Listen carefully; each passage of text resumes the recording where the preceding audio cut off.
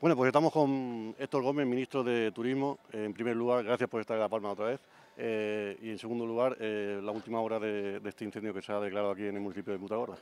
Bueno, incendio importante que está avanzando a un ritmo preocupante, coordinando con el Gobierno de Canarias y su presidente, eh, Fernando Clavijo, toda la disposición de medios materiales, terrestres, aéreos también, con dos hidroaviones, helicópteros.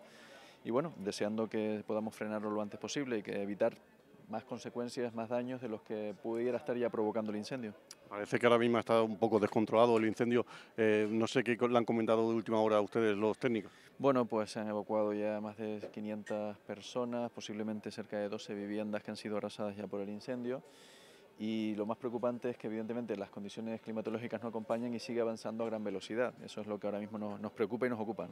Está de camino la UME. Eh, eso implica también eh, que se involucra siempre el, Gobierno de España con, las Islas Canarias y con, estas catástrofes, ¿no? Eh, sí, la UME es nivel 2, este tiene la consideración de nivel 2 ya, por lo tanto el Gobierno de Canarias coordina la acción, el operativo, pero bueno, siempre existe una extraordinaria eh, predisposición y colaboración institucional para, apoyar al Gobierno canario en situaciones como estas, ¿no? Por lo tanto, UME, hidroaviones y todos los recursos que sean necesarios.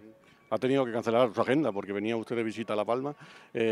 Pero ¿cuánto tiempo se va a quedar? ¿Se va a quedar hasta el día de hoy, mañana? Eh, no lo sabemos, lo de la agenda es lo de menos, lo importante es colaborar eh, como Gobierno de España con el Gobierno canario y con las instituciones, las administraciones aquí en la isla de La Palma y poner todos los recursos para, para hacer frente a este incendio. A partir de ahí las agendas siempre las podremos retomar en los próximos días o cuando pongamos punto y final a este incendio.